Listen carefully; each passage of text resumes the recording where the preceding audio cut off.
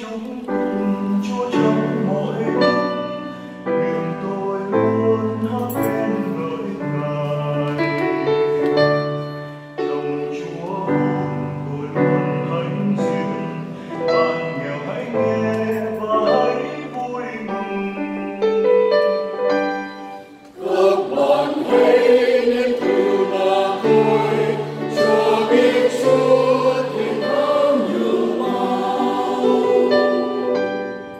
dân của ngài hãy tôn sớm